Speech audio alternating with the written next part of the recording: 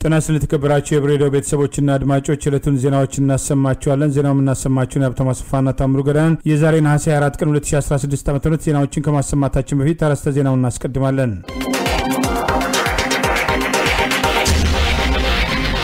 የከሸፈው የአገዛዙ እቅድና የፋኖ ወታደራዊ ጥበብ፣ የፋኖ በጎንደር መግለጫና ማስጠንቀቂያ፣ ደፋሪውና የግድያ ውሳኔ፣ የሸዋው መድረክ፣ የሶማሌዎች ሰልፍ፣ የቡነ አብርሃም ጥሪ፣ አሜሪካና ማዕቀቡ የሚሉና ሌሎችም ወቅታዊ ዜናዎች ያሉን ዝርዝሩን እንሆ።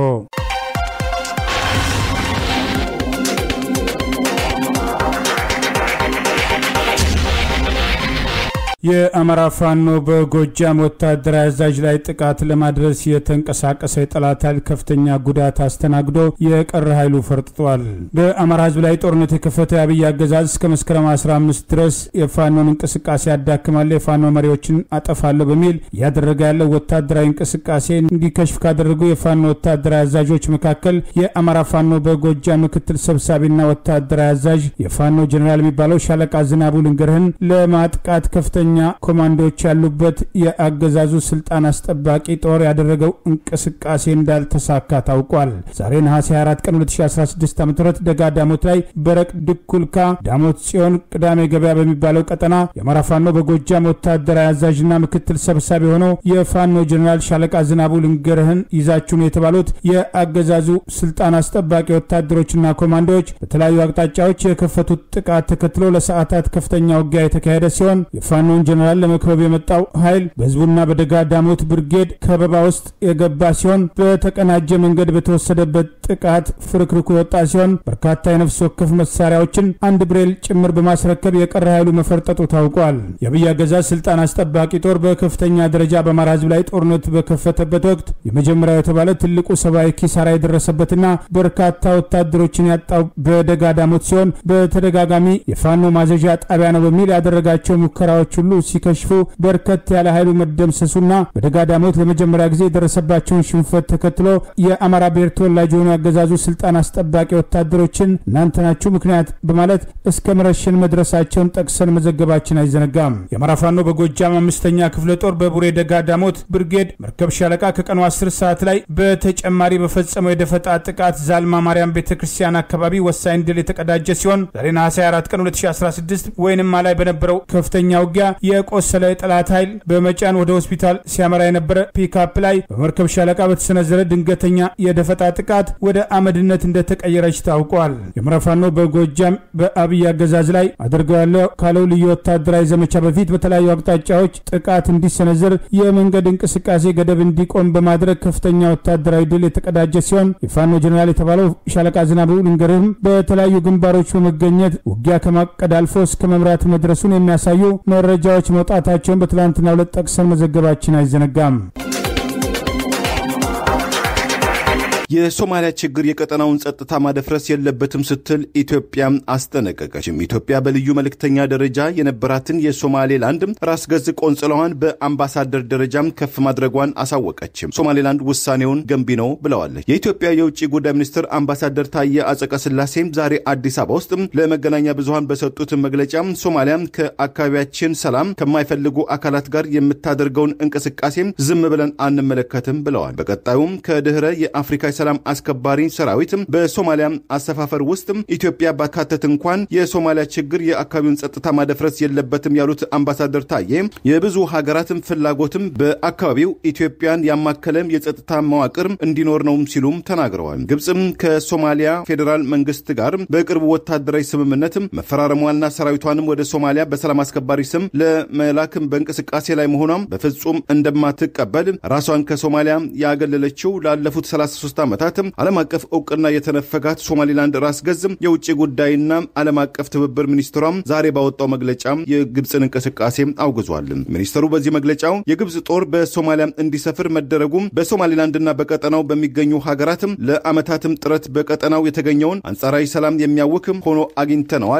አስከፊ መዘዝም ይዞ ስለሚመጣ ዓለም አቀፉ ማህበረሰብ ይህንን አደገኛ ያለውን የግብፅ እንቅስቃሴን እንዲያወግዝም እንጠይቃለን ሲል ጥሪ አቅርበዋል። በተያዘ ዲፕሎማቲክ ዲፕሎማቲክ ነክ ዜና ኢትዮጵያም ከሶማሌላንድ ራስ ገዝ ጋር ያላትን ግንኙነትም የበለጠ የሚያጠናክር ነው በተባለ መንገድ በልዩ መልእክተኛ ደረጃ የነበረውን የሀርጌሳ ቆንጽላዋን በአምባሳደር ደረጃ ማሸጋገሯም ታውቋል። የሶማሌላንድ የውጭ ጉዳይ ሚኒስትር በአጋራው መረጃ አምባሳደር ተሾመ ሾንዴ አሚቶም በትላንትናው ዕለት የሹመት ደብዳቤያቸውን ለሶማሌላንድ ራስ ገዝ ፕሬዚዳንት ሙሴ ባሂ አቅርበዋል። ሶማሌላንድ ከኢትዮጵያ ጋር የባህር በር ተደራሽነትም የመግባቢያ ሰነድ ስምምነት መፈራረሟን ተከትሎ ሶማሊያ መቃደሾ በሶማሌላንድ ሃርጌሳና በፑንትላንድ ጋራዊ የሚገኙ የኢትዮጵያ ቆንጽላዎች እንዲዘጉ በመቃደሾ የሚገኙት የኢትዮጵያ አምባሳደር ሙክታር መሐመድ ዋሪም መቃደሾን በሰባ ሁለት ሰዓታት ለቀው እንዲወጡ በአዲስ አበባ የሚገኙ አምባሳደሯም ለምክክር ወደ መቃደሾ እንዲመለሱ ማዘዟም አይዘነጋም። አምባሳደር ተሾመን የተቀበለው የሶማሌላንድ ራስ ገዝ የሁለቱ እህትማማቾች ህዝቦች ግንኙነትም እየተጠናከረ ባለበት ወሳኝ ወቅት ነው የመጡትም ከአምባሳደሩም ጋር በቅርበትም እንሰራለን ሲል መግለጹን ለማረዳትም ችለናል። የአማራ ፋኖ በጎንደር ሰሞኑን የወጣውን ሐሰተኛ መግለጫ ምክንያት በማድረግ በከፍተኛ አመራሮቹ በኩል መግለጫ ሰጥቷል። በአማራ ፋኖ በጎንደር እና በአማራ ፋኖ ጎንደር እዝ ስም የተሰጠው መግለጫ እነሱን የማይወክል መሆኑን መግለጫውን የሰጠው ቀደም ሲል ፋፍዴን በሚል ራሱን የሚጠራውና ከአማራ ፋኖ በጎንደር በተለያየ ዲሲፕሊን ጥሰት ምክንያት የተባረሩ ግለሰቦች ያሰራጩት መግለጫ መሆኑን ገለጸ። በአርበኛ ባየቀና የሚመራ የአማራ ፋኖ በጎንደር እዝ ከፍተኛ አመራሮች ዛሬ በሰጡት መግለጫ ሰሞኑን በአማራ ፋኖ በጎንደርና በአማራ ፋኖ ጎንደር እዝ ስምና አርማ የወጣው ሐሰተኛ መግለጫ ፋፍዴን በሚል የተደራጀና መሬት ላይ የታገለ የሌለ ቡድን የሰጠው አፍራሽ መግለጫ መሆኑን ገልጸዋል። የአማራ ፋኖ በጎንደር በዲሲፕሊን ጥሰትና በተለያዩ ምክንያቶች ከተቋም ያባረራቸውና ያገዳቸው ግለሰቦች የተወሰኑ ክፍለ ጦሮች ላይ የማደናበር ስራ በመስራት ከላይ ያሉ የተወሰኑ መሪዎችንም በማሳመን ለሚታገሉ አርበኞች ስም በመስጠት እና በማጠልሸት ከሚታወቀው ከነባሩ እንዲሁም እንደ ተቋም ሆኖ ካለው የአማራ ፋኖ በጎንደር ጎን ላይ የአማራ ፋኖ በጎንደር የሚል ስም ያለው ተቋም መሰረትን ብለው እያደናበሩ ህዝብንም ሚዲያንም ታጋይንም እያደናበሩ ቆይተዋል እና ምናልባት ለኝ ሰዎች በቃችሁን መባክል አለባቸው ጭምር አሁን በፊት ፋፍዴን ተብለው ከአማራ ፋኖ በጎንደር አንድነት በጎንደር ጋር ውህደት ፈጥረው የነበሩ ፋፍዴን የነበሩ ከአማራ ፋኖ በጎንደር ጋር በዲሲፕሊን በመርህ ምክንያት የወጡ ሰዎች እንደሆኑና ከተቋሙ አሁን ላይ ምንም አይነት ስልጣንም power ም የሌላቸው ነገር ግን ዲጂታል በሆነ መንገድ ብቻ የአማራ ፋኖ በጎንደር ነን እያሉ የአማራ ፋኖ በጎንደር ወክለው ሚዲያዎችን በመስጠት ስሙንም ሎጎውንም ይዘናል በማለት የማወናበድ ስራ እየሰሩ እንዳሉና የትኛውም አርበኛ እንዲሁም የማህበረሰብ ክፍል ከነኛ አሳሳች ግለሰቦች ራሱን እንዲጠብቅ ማለት ፈልጋለሁ። በተለያየ ጊዜ የማወናበድ ስራዎችን ሲሰሩ ቆይተዋል። አሁን ባሉ ጦሮችም በሌሎችም ይህንና መሰል ተግባራት ሰሩ ስለቆዩ ምናልባትም በሰሞኑም ጭምር ሚዲያ ላይ የለቀቁት የአማራ ፋኖ በጎንደርና የአማራ ፋኖ ጎንደር እዝ ያወጣው መግለጫ በሚል የሰጡትን መግለጫ ጭምር በትክክል መሬት ላይ ያለው በአርበኛ ባየቀናው የሚመራው የአማራ ፋኖ በጎንደር የዚህ መግለጫ ባለቤት እንዳልሆነ ማሳወቅ ፈልጋለሁ። እንደ አማራ ፋኖ በጎንደር የአድዋ ክፍለ ጦር መሪው አርበኛ ባየቀናው ተቋማችንም የአማራ ፋኖ በጎንደር ነው ማለት ፈልጋለሁ። መግለጫውን ከሰጡት ከፍተኛ አመራሮች መካከል የአማራ ፋኖ በጎንደር ምክትል ሰብሳቢና ወታደራዊ አዛዥ አርበኛ ኮማንዶ ሳሙኤል ባለድል የቡድኑ ድርጊት ዓላማ ከፋፋይ መሆኑን የአማራን ፋኖ በጎንደር የሚያደርጋቸውን እንቅስቃሴዎች ለማዳከም የተለያዩ ጥረቶች ሲያደርግ መቆየቱን በአሁኑ ወቅት አየር ላይ ያለ ቡድን ሲሆን ስሙን በመጠቀም መግለጫ በማውጣት በአማራ ፋኖ በጎንደርና በአማራ ፋኖ ጎንደር እዝ ስም የተሰጠው መግለጫ የማይወክላቸው መሆኑን አስታውቋል። አርበኛ ኮማንዶ ሳሙኤል ባለድል አያይዞም ቡድኑ ከድርጊቱ ካልተቆጠበ እርምጃ እንደሚወስዱ ያስጠነቀቀ ሲሆን የጎንደር አማራን ከሌላው አማራ ጋር ለማጋጨት ሆን ተብሎ ተልእኮ ተሰጥቶት የሚንቀሳቀስ ኃይል መሆኑን ጭምር በዚሁ መግለጫ አስታውቋል። ይህን ጎን በጎን የአማራ ፋኖ በጎንደር ሚዲያም ያላቸው አየር ላይ ዲጂታል የሆነ መዋቅር ሰራን ብለው ሚዲያም ተጠቅመው ህዝብ ሲያደናግሩ፣ አርበኞች ሲያደናግሩ የቆዩ ዲጂታል አርበኞች አሉ። እነኚህ ሰዎች በምግባራቸው የፋኖ ስም ይዘው ነገር ግን ከአጥቂው ወይም ደግሞ ከግፈኛው ስርዓት ያልተለየ ተግባራት እየተጠቀሙ ያሉ ሰዎች የገጠሙንን እነሱም አንድ ችግር ሆነው ቆይተውብናል። የአማራ ፋኖ በጎንደር መሬት ላይ እየሰራ ባት ጊዜ ዲጂታል ሰራዊት ማለት ይችላለን። ምክንያቱም እስካሁን መሬት ላይ ያለ ስራ እየሰሩ ስላልሆነ በተለያየ መንገድ ሰራዊትን ለመሸርሸር ህዝቡን ለማወናበድ የአማራ ፋኖ በጎንደር ሎጎውን እና ስሙን ይዘው የተለያዩ መግለጫዎችን እያወጡ ቆይተዋል። በተለየ በሰሞኑ የጎንደርን ክፍለ ሀገር ወይም ጠቅላይ ግዛት ከሌላው አማራ ነጥሎ ለመምታትም ለማስመታትም በሚመስል መንገድ ስም የማጥፋት ዘመቻን ጀምረው ቆይተዋል። አሁን በፊትም የአማራ ፋኖ በጎንደር እንቁ አርበኞችን መሬት ላይ እየሰሩ ዋጋ እየከፈሉ ያሉ አርበኞችን ስም ሲያጠፉ ቆይተዋል። ይሄንን ሁሉ ታግሰናቸው ቆይተናል። አሁን ግን አሁን ግን እንደ አማራ እየተሳደድኩ እየተገደልኩ ነው፣ እየጠፋሁ ነው፣ የህልውና አደጋ አለብኝ ብሎ እየታገለ ያለውን የጎንደር አርበኛ ከሌላው የአማራ ክፍል ለመነጠል ያደረጉት ያለውን ሂደት የማንታገሰው መሆኑንና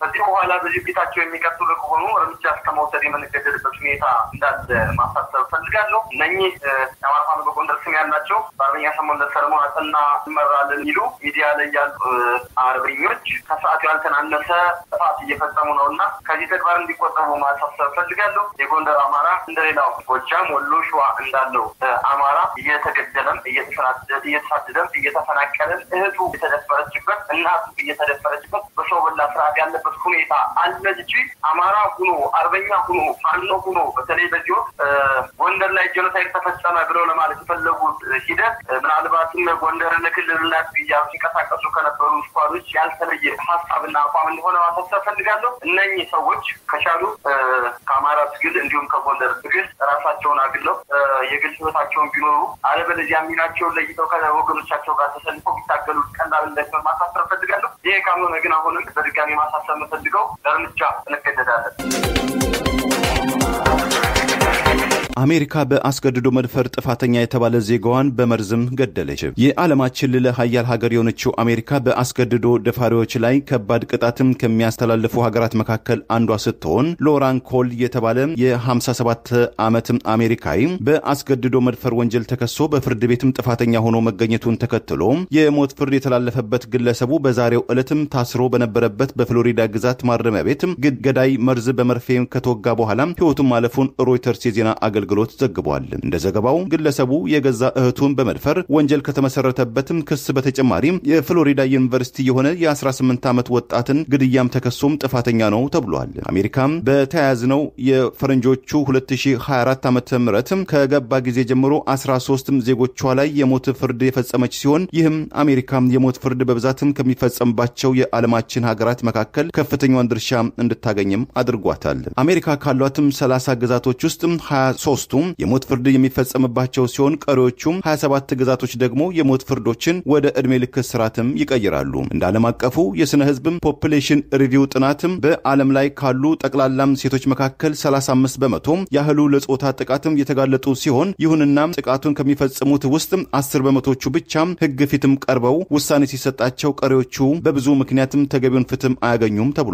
ከአሜሪካ በተጨማሪም ጥብቅም ሕግ ያላቸው ሀገራትም ሳውዲ አረቢያ፣ ቻይና፣ ደቡብ ኮሪያ ቼክ ሪፐብሊክም ሰሜን ኮሪያና ፓኪስታን ዋነኛዎቹ አገር መሆናቸው መረጃዎች ይገልጻሉ። የሚያንቀጠቅጥ ወይም ፓራንከሲስ በሽታም ተጠቂ ነበር የተባለው ተከሳሹም ኮል ራሱን መቆጣጠር ስለማይችል የግድያ ቅጣቱ እንዲቀለበስለትም ጠበቆቹም አቤት ቢሉም ከሳሽ አቃቢ ሕግ ግን ይህ ጥያቄ የመጣው ግለሰቡ በሞት ቅጣትም እንዲቀጣም ከተወሰነ በኋላ በመሆኑ ግድያው ተግባራዊ ይሁንልኝ ሲል መከራከሩን Associated Press ም ዘግቧል። የግድያ ውሳኔው ተግባራዊ ከመሆኑ በፊት ፒዛና አይስክሬም ለመጨረሻ ጊዜ የበላው ተከሳሹም ኮል ከግድያው በፊትም የምትናገረው ነገር ካለም ተብሎ ለቀረበለት ጥያቄ ጌታ ሆይ ምንም የምናገረው ነገር የለም በማለትም ለመጨረሻ ጊዜ ቃሉን ማሰማቱን የዜና አገልግሎቱም የእስር ቤቱን ምንጮችም ጠቅሶ ዘግቧል። የአማራ ፋኖ ሸዋ እዝ ከፍተኛ አመራሮች በተገኙበት በጅሁር ህዝባዊ ውይይት የተካሄደ ሲሆን ከህዝቡ ጋር በነበራቸው ውይይት በአማራ ህዝብ ላይ የተከፈተው ጦርነት መነሻና መድረሻውን የአማራ ህዝብ በማንነቱ ሳቢያ እየደረሰበት ያለው ጥቃትና ጭፍጨፋን ተከትሎ በተደጋጋሚ በአማራ ማንነቱ ሳቢያ የሚፈጸሙ ጥቃቶችን በተመለከተ የአማራ ህዝብን ህልውና ለማስከበር የአማራ ፋኖ ሸዋ እዝ እያደረጋቸው ያሉ ወታደራዊ እንቅስቃሴዎችና ትግሉን ተከትሎ ህዝቡ የሚያውቃቸውን አልፎ አልፎ በአካባቢው የሚታዩ ችግሮችን ምክንያት በማድረግ ከህዝቡ ጋር ግልጽ ውይይት ማድረጋቸው ታውቋል። በዚህ ውይይት ላይ የአማራ ፋኖ ሸዋዝ የውጭ ግንኙነት ኃላፊ የወታደራዊና የፖለቲካ አመራሮችን ጨምሮ ቃል አቀባዩ ዶክተር አብደላ እድሪስ ጭምር በመገኘት ከህዝቡ ጋር በነበረው ውይይት ማብራሪያ የሰጡ ሲሆን ህዝቡ ለሚያነሳቸው ጥያቄዎችን ምላሽ በመስጠት ፋኖ በተለያዩ ግንባሮች ከሚያካሄደው ወታደራዊ እንቅስቃሴ ጎን ለጎን በነጻ ቀጠናዎች ከህዝብ ጋር የሚያደርጋቸው ውይይቶች ህዝቡ ጦርነት የከፈተበት አገዛዝ በየጊዜው እንደ ስስት ራሱን እየቀያየረ ፋኖን ከህዝብ ለመነጠል የሚያደርጋቸው እንቅስቃሴዎች እንዳልተሳኩና ህዝቡ የህልውና ትግሉን በመደገፍ የሚያደርጋቸውን እንቅስቃሴዎች አጠናክሮ እንዲቀጥል ጥሪ መቅረቡም ታውቋል። የአማራ ትግል ቅድም በመግቢያ እንዳልኳችሁ በተለያየ ቦታ ተረጋግቶ እንዳይሰራ እንዳይሰራ በማንነቱ የሚገደልበት ያፈራው ገንዘብ የሚነጠቅበት ቤተሰቦቹ ልጆቹ ተረጋግተው እንዳይማሩ ተፈርዶበት በተለያዩ የሀገሪቱ ክፍሎች ውስጥ አልኖረም። ለምሳሌ እንኳ ብጠይቃችሁ ከኦሮሚያ ስንት ተፈናቀለ ብላችሁ ስንት ዘመድ ተፈናቀለ ብዬ እያንዳንዱ ብጠራ ብጠይቅ በእርግጠኝነት ሀያ ሰላሳ ሰው ትጠሩልኛላችሁ። ለምን ተፈናቀሉ ነኝ ብለን ስንል አማራ በመሆናቸው ብቻ ነው። ሁለተኛው ይህን አፈናቅለው ገንዘባቸውን አጥፍተው አቃጥለው ንብረታቸውን አውድመው ከፈጣሪያቸው ጋር እንኳን ሄደው አዝነው ለፈጣሪያቸው ሀዘናቸውን እንዳይገልጹ የእምነት ተቋማቸው አቃጥለውባቸው ሃይማኖት አባቶቻቸው በየቤተ ክርስቲያኑ ትላልቅ አዛውንቶች ቀጥቅጠው አርደው በጭካኔ በጣም አዛውንት የሆኑ እናቶችን በአደባባይ ረሽነው እርጉዝ እናቶችን ወዳቸውን ሰንጥቀው ሲያወጡ ሲጥሉ ስናይ የዛን ጊዜ የአማራ ሕዝብ በምክንያት ብሎ የወጣው ማለት ሌላ ምን ጥያቄ ኖሮበታል? የሚገርመው አማራነትን መርጦ የሚወለዳል። አሁን እስቲ እናንተ ውስጥ ጠይቅ፣ እገሌ አባቴ የሆንልኝ እገሊት እናቴ ትሁን የተወለደ ሰው አለ? አይኖርም ማለት መርጦ የሚወለድ የለም። ሰው ሲወለድ ቃል ይወለዳል። ከዛ በዘለለ ግን ከገሌ ሊወለድ ከገሌ ሊወለድ ብሎ የሚጠይቅ የለም። ይሁንና ግን ይህን እንዲህ አይነትን አስከፊ አይነት ስርዓት እንደዚህ አይነት ነገሮችን አምጥቶ ህዝቡን ሲያሰቃይ ሲያሳቅቅ በርካታ ችግሮች ሲፈጥር ሲያይ የአማራ ህዝብ እንደ ህዝብ አይሆንም ብሎ ተነስቷል ማለት ነው። ይህን ደግሞ ያደረገው ትናንትና ኢትዮጵያዊ ሙሴ መጣ ብለን ያጨበጨብንለት ሰልፍ የወጣንለት ገንዘብ ያዋጣንለት አይደለም። ትናንትና ሀገር በተደፈረች ጊዜ የህልውና ዘመቻ ተብሎ አርሶ አደሩ የሚሸጠውን በሬ አንድ በሬ ሸጦ መሳሪያ ገዝቶ በጣም ነው በሚሊሻ ሄዶ አብሮ የወደቀው እናቶች ደካሙ ደካማ አቅማቸው የደከመ ሳይቀር ደረቅ ምግብ አዘጋጅተው እህቶች ምግብ አዘጋጅተው በሱ ያዘጋጁ እናቶች ላይ እንዲህ አይነት ችግር ሲመጣ ሲታይ አየለም ይሄ ነገር ወደ ማለት ጥያቄ ስለመጣ ይሄ ነገር ተነሳ። ዛሬ አዲስ አበባ እንኳን ለልብ ወጥቶ የሚገባበት አይደለም ማለት አዲስ አበባ የአማራ ከተማ የተወለደበት ማለት የሚል አይደለች። ግን አዲስ አበባ ለመግባት የሚታዩትን ፈተና ታውቃላችሁ። ዛሬ ለምን አዲስ አበባ እዚህ መንዲዳ ደረባ ለመግባት የነበረውን ከቤት እኮ ዘግተውባቸዋል። አንድ አስራ አምስት ቀን አይደል አሁን አካባቢ መንገድ ተዘግቶ ነበር። መንዲዳ ግን በትክክል ካያችሁት ለኦሮሞ ዋን የሰጠው እዚህ ጋር ፍንጫቱ እና ይሄ ሲታይ ይሄ ነገር መቆም ስላለበት በሚለው ነው እኛ የአማራ ህዝብ እንደ ህዝብ እንዳጠቃላይ ወጥቶ ትግል የጀመረው ማለት ነው። የአማራ ፋኖ በጎንደር አርማውን ለመለወጥ መገደሉን አስታውቋል። ተጨማሪ ክፍለ ጦሮችን ምስረታ ይፋ እንደሚደረግ ገለጸ። በአርበኛ ባየቀና የሚመራ የአማራ ፋኖ በጎንደር ሲጠቀምበት የነበረውን አርማ በመጠቀም ሐሰተኛ መግለጫ በተደጋጋሚ የሚሰጡ ግለሰቦችን እንቅስቃሴን ለመቆጣጠር ራሱን የቻለ አዲስ አርማ ሰርቶ ይፋ ለማድረግ ዝግጅቱን እያጠናቀቀ መሆኑን ገለጸ። በአርበኛ ባየቀና የሚመራ የአማራ ፋኖ በጎንደር ከፍተኛ አመራሮች ዛሬ በሰጡት መግለጫ ላይ በአማራ ፋኖ ጎንደር ስር የሚገኙት አስሩ ክፍለ ጦሮችና በክፍለ ጦሮቹ ስር የሚገኙ ብርጌዶች ራሳቸውን ችለው የተደራጁ ተጨማሪ ሻለቆች ጭምር ወደ ብርጌድና ብርጌዶቹ ወደ ክፍለ ጦር የሚያድጉበት እንቅስቃሴ ላይ መሆናቸውን በዚህም ተጨማሪ ክፍለ ጦሮችና ብርጌዶችን በቅርቡ ይፋ እንደሚያደርጉ ገልጿል። አርበኛ አሸናፊ ወንደሰን የአማራ ፋኖ በጎንደር ቃል አቀባይን ጨምሮ በአማራ ፋኖ በጎንደር ስር የሚገኙ የተለያዩ ክፍለ ጦር አዛዦች ዛሬ በጋራ በሰጡት መግለጫ ቃል አቀባዩ በተደጋጋሚ በአማራ ፋኖ በጎንደር ስም የሚሰጡ ሀሰተኛ መግለጫዎችን ለመከላከል አስቀድሞ ሲጠቀምበት የነበረውን መለያውን ሎጎውን ለመቀየር መገደሉና ይህኑ ተከትሎ ስራውን እያጠናቀቀ በመሆኑ ይፋ እንደሚያደርግ አስታውቋል። ሌላው በስማችሁ በተደጋጋሚ መግለጫዎች ሆኖ የተለያዩ ግለሰቡ የቡድን ሀሳቦች ይጸባረቃሉ። ይህንን ደግሞ በዋናነት የሚያቀርቡት የእናንተን የተቋማችሁ ሎጎ ተጠቅመው ነው ያላችሁት። ምናልባት ዛሬ ወደ ማታ ወይም ደግሞ ነገ እስከ ማታ ድረስ ባለው አዲሱን modify የተደረገውን ሎጓችን ለእናንተም announce እናደርጋለን። ከዛ በኋላ በትክክል ማን አወናባጅ እንደሆነ በትክክል ማየት በትክክል እንፈጥራለን። ይሄንን የቤት ስራ የሰጠነው ዛሬ ዛሬ ሳይሆን ትናንትና ጀምሮ ነው ስራውን የሰጠን። ዛሬ ከደረሰልን ዛሬ announce እናደርጋለን ነው። በአርበኛ ባርዬ ቀናው ስር የሚመሩት አስሩም ክፍለ ጦሮች በስራቸው ያሉ ብርጌዶችና ሻለቆች ዛሬም በተቀናጀና በአንድነት አርበኛ ባየቀናው በሚመራው የአማራ ፋኖ በጎንደር ስር መሆናቸውን የገለጸው ቃል አቀባዩ ይህኑ ተከትሎ በዛሬው መግለጫ ላይ የተገኙ የክፍለ ጦር አመራሮችም ተመሳሳይ አስተያየት በመስጠት አረጋግጠዋል። ወደ ክፍለ ጦር ያደጉ አዳዲስ ክፍለ ጦሮችን የምትሰሙበት፣ ወደ ብርጌድ ያደጉ አዳዲስ ብርጌዶችን የምትሰሙበት ሁኔታ ይኖራል። አሁን ላይ እነዚህ በዋናነት እነዚህ አስሩ ክፍለ ጦሮችና አራቱን ብርጌዶች እንዲሁም ከታች ያሉ ሻለቃዎችን አቀናጅቶ እየመራ የሚገኘው አርበኛ ባየቀናው የሚመራው። የአማራ ፋኖ በጎንደር መሆኑን እየገለጽኩኝ በዚህ መሰረት ይህ በእንዲህ እንዳለ የአማራ ፋኖ በጎንደር ከፍተኛ አመራሮች አንዱ የሆነው ምክትል ሰብሳቢና ወታደራዊ አዛዥ ኮማንዶ ሳሙኤል ባለድል በውጭ ሀገር ለአማራ ፋኖ በጎንደር ገቢ ለማሰባሰብ የተቋቋመው ኮሚቴ የሰበሰበውን ገንዘብ ለታለመለት ፋኖ ድጋፍ እንዲሆን እንዲያስረክብ ለኮሚቴው ደብዳቤ በውስጥ መጻፋቸውን አስታውቋል። ኮሚቴው አደራውን እንዲወጣ የጠየቀው ምክትል ሰብሳቢና ወታደራዊ አዛዡ ኮማንዶ ሳሙኤል ባለድል ይህንን ተግባር መወጣት ይገባቸዋል፣ ገንዘቡ የተሰበሰበው በፋኖ ስም የአማራ ፋኖ በጎንደር በወከለው ኮሚቴ አማካኝነት መሆኑን በመጥቀስ ቀነገደብ በማስቀመጥ ኮሚቴው ኃላፊነቱን እንዲወጣ ጥያቄ ማቅረባቸውንም በዚሁ በዛሬ መግለጫ ላይ ጠቅሰዋል። ይሄም ብቻው አይደለም። በክረምቱ ወቅት የአማራ ፋኖ በጎንደር ከፍተኛ ኦፕሬሽኖችን እየሰራ ባለበት ጊዜ ለአርበኞች ለታጋዮች ተብሎ የተደረጀለ ገንዘብን ወደ ተቋሙ ወይም ደግሞ ወደ ታጋዩ ያላደረሱ የውጭ የአማራ ፋኖ በጎንደር ገንዘብ አሰባሳቢ ሰዎች አሉና እነሱም ደብዳቤ ጽፈናል። በህዝብ በታጋይ ስም የተሰበሰበ የህዝብ ንብረት እንደመሆኑ መጠን መሬት ላይ እየሞተ ዋጋ እየከፈለ እየቆሰለ ያለ ሰራዊት አለና ያ የተሰበሰበ ገንዘብ ወደ ሰራዊቱ በጊዜው መድረስ ስላለበት በተሰጣቸው ቀነ ገደብ መሰረት ወደ ተሰጣቸው አካውንትና መሬት ላይ ወዳለው ታጋይ ገቢ እንዲያደርጉ በዚሁ ጥሪ ማቅረብ እፈልጋለሁ። አለበለዚያ ግን ትንሽ አስቸጋሪ ሁኔታዎች ሊፈጠሩ ስለሚችሉ ይህን ማሳሰብ እፈልጋለሁ። አመሰግናለሁ።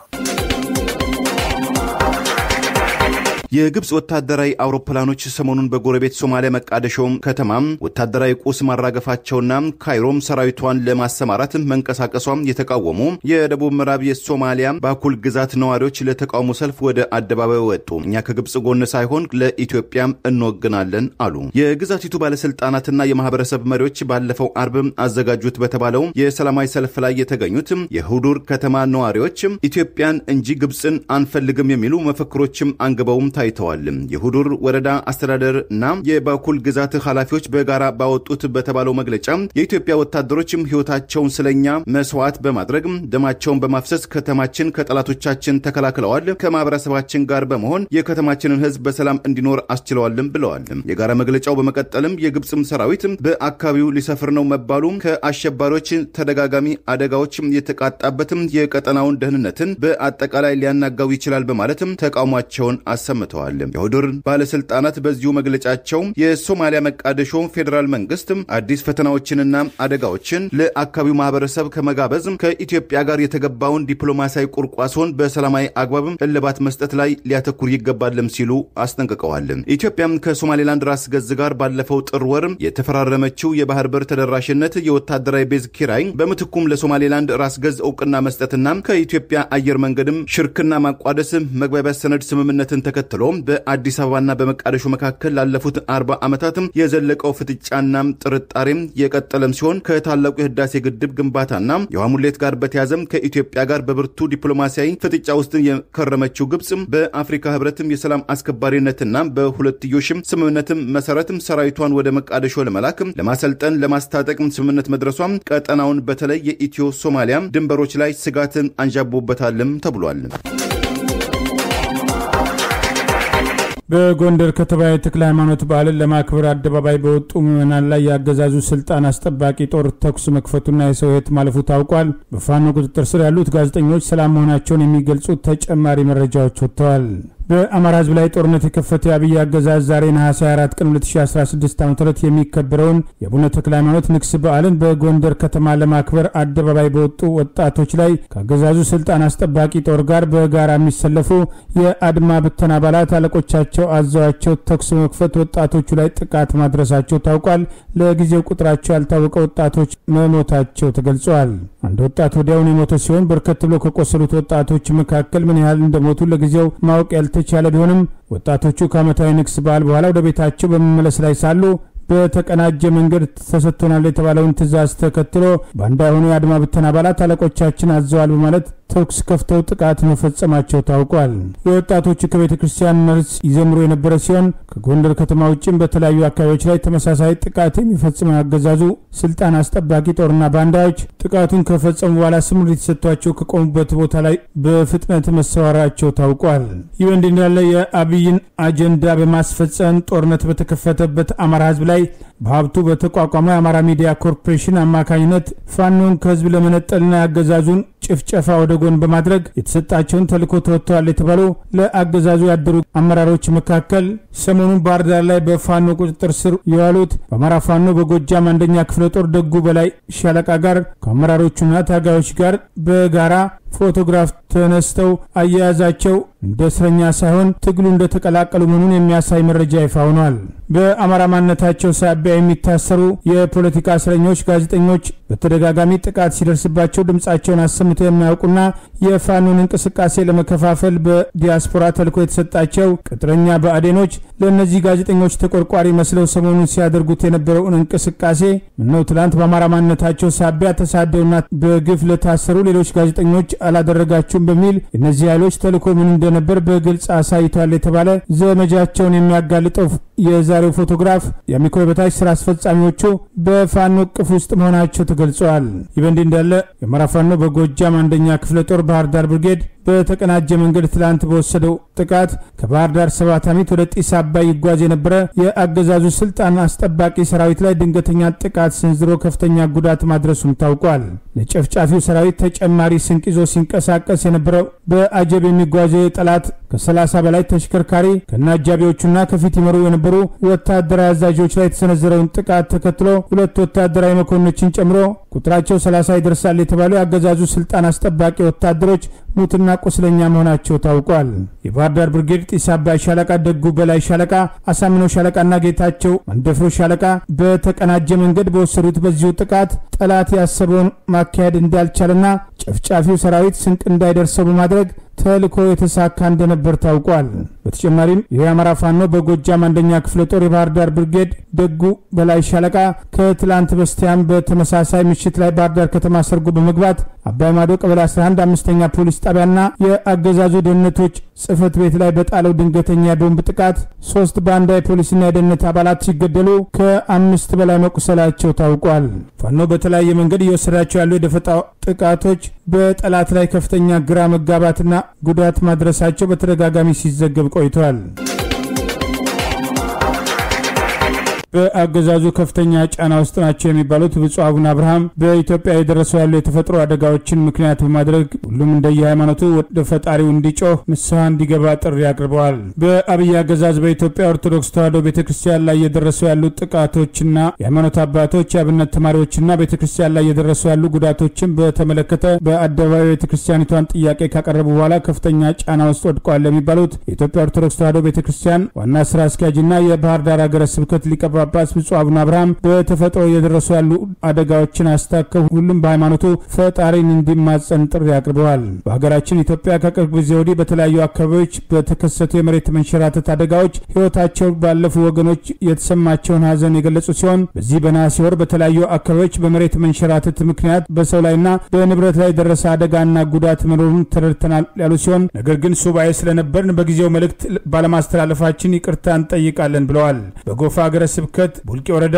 ኬንቾ ሻንቻ ጎዜ ቀበሌ በደረሰው አደጋ የተሰማንን ሀዘን ገልጸን ነበር ያሉት ብፁዕ አቡነ አብርሃም ቢሆንም ከዚያ በኋላ በሲዳማ ሀገረ ስብከት ወንሾ ወረዳ፣ በወላይታ ሀገረ ስብከት ካዎ ኮይሻ ወረዳ፣ በጋሞ ሀገረ ስብከት ደረሴ ወረዳ፣ በሰሜን ጎንደር ሀገረ ስብከት በደባርቅ ጠለምት ወረዳና በመቀሌ ደግሞ የቅዱስ ገብርኤል ቤተ ክርስቲያን ናዳ ውስጥ በመግባቱ ብዙ ፈተና ውስጥ መግባታችን ይታወቃል ሲሉ አደጋዎቹን አስታውሰዋል። እነዚህ የደረሱ አደጋዎችን እግዚአብሔር ዳግም እንዳያመጣቸው ቸርነቱና ጥበቃው አይለየን ያሉት ብፁዕ አቡነ አብርሃም በአደጋው ምክንያት ጉዳት ለደረሰባቸው ሰዎች እግዚአብሔር መጽናናቱን እንዲሰጥ የተመኙ ሲሆን የሰው ልጆች ላይ አደጋ እንዳይደርስና ከክፉ ነገር እንዲጠብቀን የሚጮኸው ወደ እግዚአብሔር ነው። በመሬት መንሸራተትና የመሳሰሉት አደጋዎች መፍትሄ የሚገኘው ከእግዚአብሔር ብቻ ነው። ስለዚህ ሁላችንም የአደጋ ዜና ሰምተን ብቻ ማለፍ ሳይሆን እንደየ ሃይማኖታችን ወደ ፈጣሪ ምድሪቱን የበረከት ምድር አድርግልን ብለን መጸለይ ነው ያለብን ሲሉ ጥሪ አቅርበዋል። ብሩክ ስንሰማ የነበረውን ዜና ዛሬ በሀገራችን እየተሰማ ነውና ፈጣሪ ቁጣውን ወደ ምሕረት እንዲለውጠው ወደ እርሱ በመጮህ ንስሐ መግባት አለብን ሲሉ ጥሪ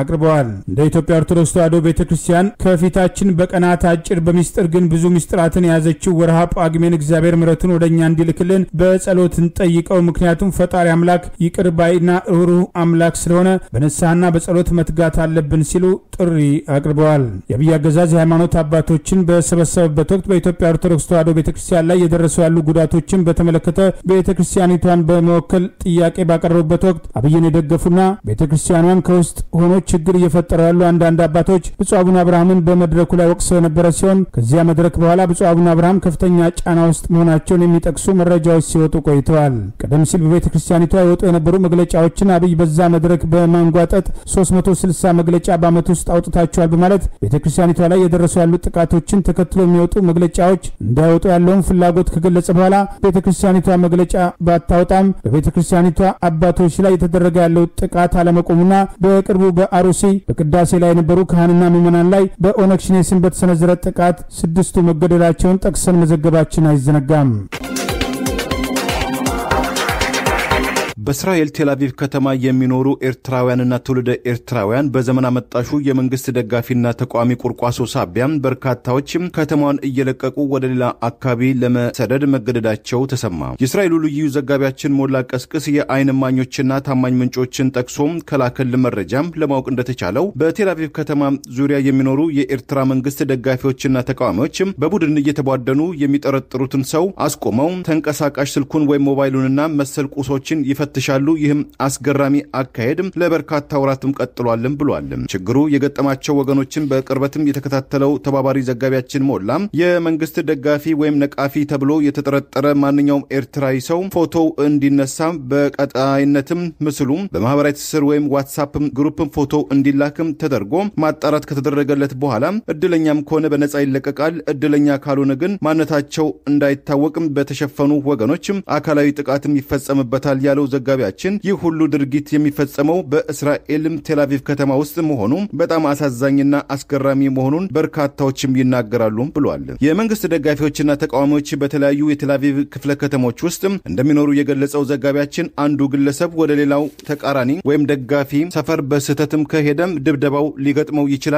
ይህም እርምጃ ለበርካታ ጊዜያትም ተከስቷል ያለው ዘጋቢያችን ለደህንነታቸው የሰጉ በርካታም ኤርትራውያን ከቴልአቪቭ ከተማ ርቀው መሄድን መምረጣቸውን ገልጿል። ከዚህም ሁከትና ውጥረትም ጀርባ በኤርትራውያን ስም ጥገኝነት የጠየቁ የትግራይ ብሔር ተወላጆች መኖራቸውን የሚጠረጠሩ ግምቶችም የጠቀሰው ዘጋቢያችን በቅርቡ የአሸንዳ በዓል ሲከበር ሁለትም ሰዎች የሞቱበትን ወደ ስምንት የቆሰሉበትና የእስራኤል መንግስትን ለቁጣም የጋበዘው ግጭትንም አውስቷል። ሰሞኑን የተፈጠረውን ግጭትን ተከትሎ የቀኝ ዘመሙ የእስራኤል ብሔራዊ ደህንነት ሚኒስተር በእስራኤል የሚገኙ አምባጓሮ ፈጣሪ ኤርትራውያን ስደተኞች ከአገሪቱ እንዲባረሩ መጠየቃቸው ጠቅላይ ሚኒስትሩ ቢንያሚን ናትንያሁም ይህንኑ ጥያቄ የሚያጸና የተባለ ህገወጥ አፍሪካውያን በሙሉ በአስቸኳይ ከእስራኤል ግዛትም ለማባረር እቅድ እንዲወጣም ትዕዛዝ መስጠታቸው ይታወሳል። የሰብአዊ መብት ተሟጋቾች በበኩላቸው አገራቸውን ጥለው የተሰደዱ ስደተኞች ወደ አገራቸው መመለስ ለደህንነታቸው አደጋ ይጋልጣል በማለትም ሀሳቡን በጽኑ ይቃወሙታል። የህወሓት መሪዎች ዛሬም አክሱም ላይ አንዱ አንዱን ለመግፋት ሲፋጠጡ እንደነበር ታውቋል። የሃይማኖት አባቶች ሽምግልና ገብተው ችግሩ ለማርገብ መሞከራቸው ተገለጸ።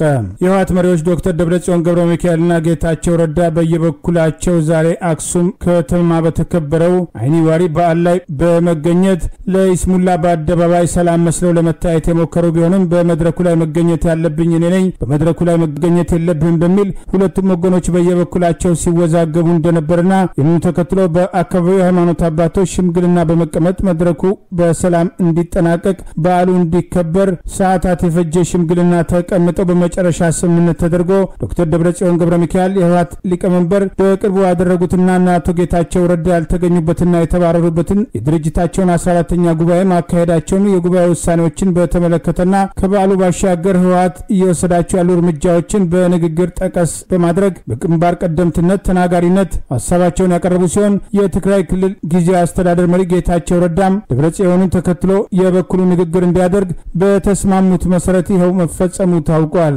ከዚህ ቀደም በጋራ አንድ አምባሻ ለመቁረስ በግልጽ በሚታይ ደረጃ ቅራኔያቸው ተስተውሎ የነበረውና በቅርቡ እየሰጡ ባሉት መግለጫ አንዱ ላይ እርምጃ ይወስዳል የሚሉ ስጋቶች ጭምር ተከትሎ የመጡ ሲሆን የአሜሪካው አምባሳደር ኤርቪን ማሲንጋ ሁለቱን ወገኖች በተናጠል ሰሞኑን መቀሌ ድረስ በመጓዝ ማነጋገራቸው አይዘነጋም። ይህ በእንዲህ እንዳለ የሁለቱን የህወሓት መሪዎችና ቡድናቸውን ልዩነት በተመለከተ ቢቢሲ ባቀረበው ተጨማሪ ዘገባ የአብይ አገዛዝ ሁለቱም የህወሓት ወገኖች እርስ በርሳቸው እስኪደክሙ በጸጥታ ይመለከታል የሚሉ እንዳሉት ሁሉ ሌሎች ደግሞ እንደተለመደው ህጉን ለማስከበር ኃይል ሊጠቀም ይችላል የሚል ግምትና ስጋት እንዳላቸውን ጭምር ገልጸዋል። ወደ አውዳሚ ጦርነት መመለስ የሚፈልግ ያለ አይመስልም። ሆኖም የፖለቲካ ልዩነቶች የውጭ ኃይሎችን ጣልቃ ገብነት የሚያስጋብዝበት በር የሚከፍትበት ሰፊ እድል አለ በማለት አስተያየት የሚሰጡ እንዳሉ ዘግበዋል። በዶክተር ደብረጽዮን ገብረ ሚካኤል የሚመራው ቡድን በውጭ ኃይሎች በመተማመን ስልጣን በመሻት ላይ ይገኛል በማለት ጌታቸው ረዳ አስቀድሞ ከሶ የነበረ ሲሆን ይህን ተከትሎ ከዚህ ቀደም በህወሓትና በኤርትራ መንግስት መካከል ምስጢራዊ ግንኙነት እየተደረገ ነው የሚሉ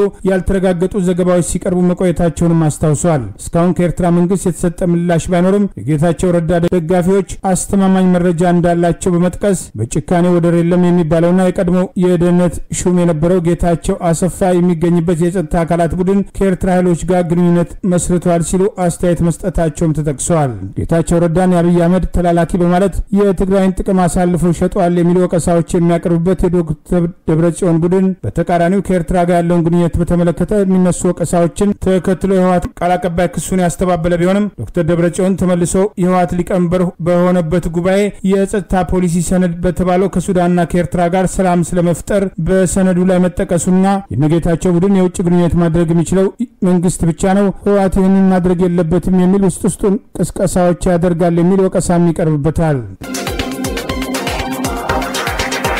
የአሜሪካ መንግስት በደቡብ ሱዳን ባለስልጣናት ላይ የቪዛ እገዳ መጣሉን አስታወቀ። የአሜሪካም የውጭ ጉዳይ መስሪያ ቤት ዛሬ ባወጣው መግለጫ እንደ ፈረንጆቹ አቆጣጠር በ2011 ነጻነቷን ከሱዳን የተቀዳጀችው ደቡብ ሱዳን ለአምስት ዓመታት የዘለቀው የእርስ በርስ ጦርነት እንደ ፈረንጆቹ አቆጣጠር በ2018 በተካሄደው የሰላም ስምምነት ካበቃ በኋላ የደቡብ ሱዳን አስተዳደር በሙስናና በጎሳ ግጭት እየተናጋ ነው ሲል ገልጿል። እነዚህ ግለሰቦች ወደ አሜሪካ ለመግባት ብቁ ላይሆኑ ይችላሉ ያለው የአሜሪካ የውጭ ጉዳይ መስሪያ ቤት ምንም እንኳን ማዕቀብ የተጣለባቸውን ግለሰቦች በስማቸው ባይገልጽም ግለሰቦቹም የህይወት አድን ሰብአዊ እርዳታዎችን ስራ በማደናቀፍና የእርዳታ ጭነቶችን ቀረጥ በማስከፈል ተሳትፈዋል ሲልም ወንጅሏቸዋል። መግለጫው በተጨማሪም በፈረንጆቹ 2018 የተቋቋመውን የደቡብ ሱዳን የሽግግር መንግስትን በሰላም ስምምነቱ ውስጥ ያሉትን ግዴታዎች ሙሉ በሙሉ ተግባራዊ ለማድረግ የሚያስችል ስርዓት ለመዘርጋት ባለመቻሉ የአሜሪካ መንግስት በጣም አሳስቦታልም ብሏል።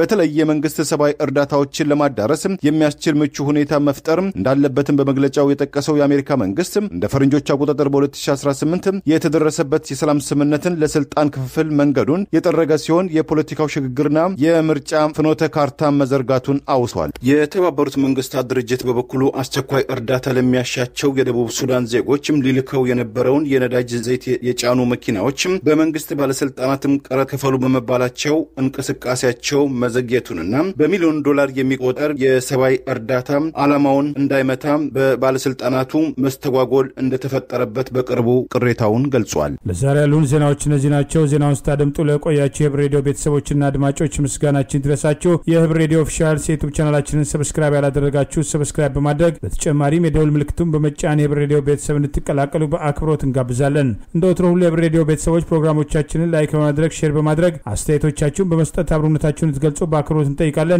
በድጋሚ እናመሰግናለን። ጤና ይስጥልን። ቸር እንቆይ።